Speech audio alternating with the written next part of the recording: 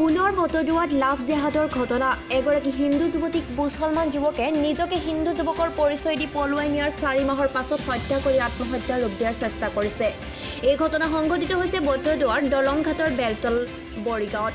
বৰিগাঁৱৰ দিন হাজিৰা কৰা বুবুল নাথ নামৰ এগৰাকী দৰিদ্ৰ লোকৰ একমাত্ৰ কন্যা প্ৰণামী দেৱী।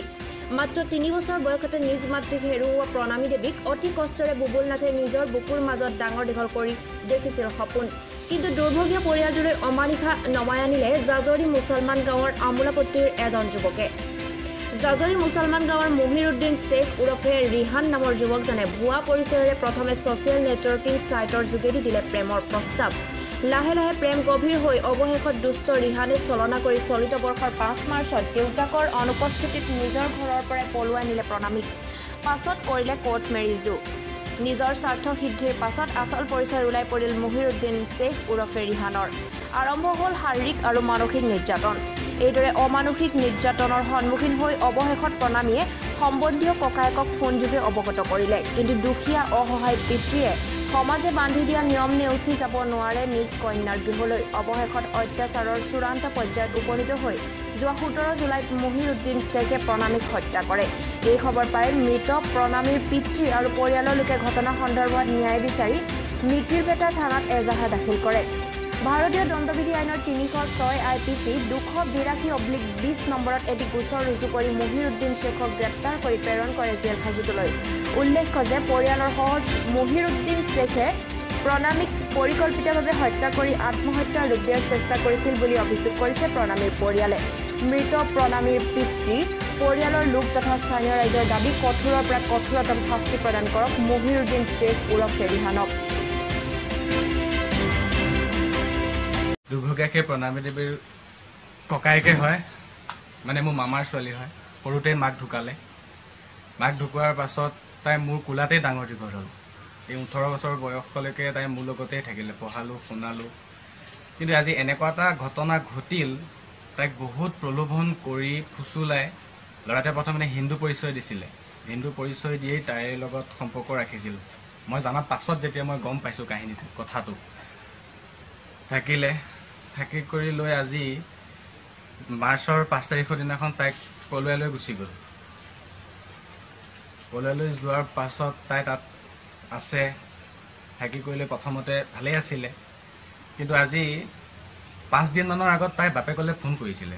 বাপেকক ফোন কৰি কান্দি কুটি কৈছে বোলে মোক ইয়াত মানসিক অত্যাচাৰ বহুত শাস্তি দিয়ে ভাত চাত খাব নিদিয়ে। আজি পাঁচদিনমান হ'ল তাইক ভাতেই খাবলৈ দিয়া নাই বোলে।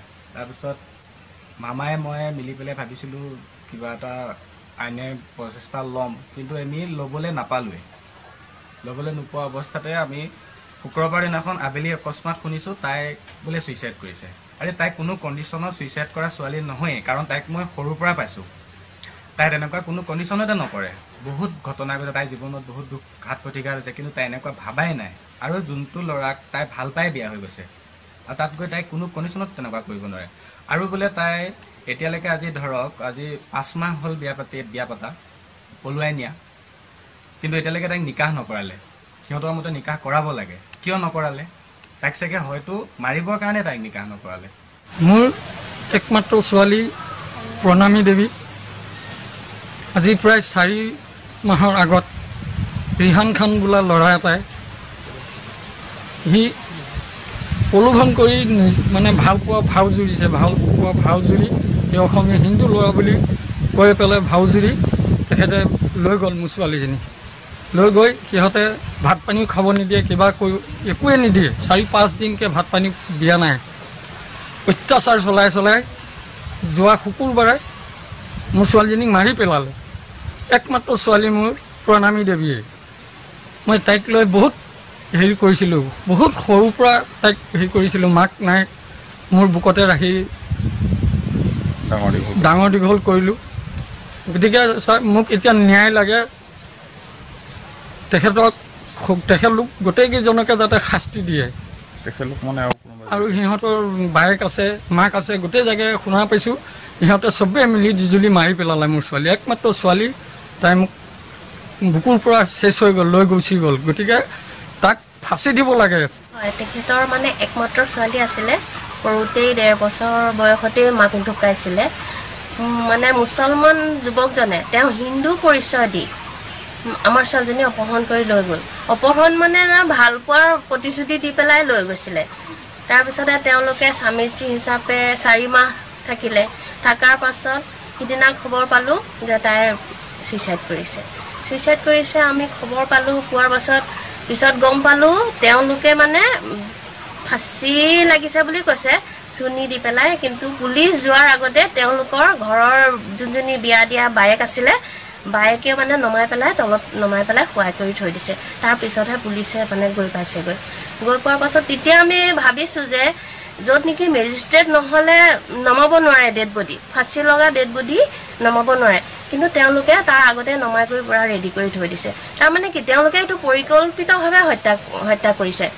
বটদুৱাৰ পৰা তৃতীষা ভঁৰালীৰ ৰিপৰ্ট এৰি টাইম ৰেডি কৰ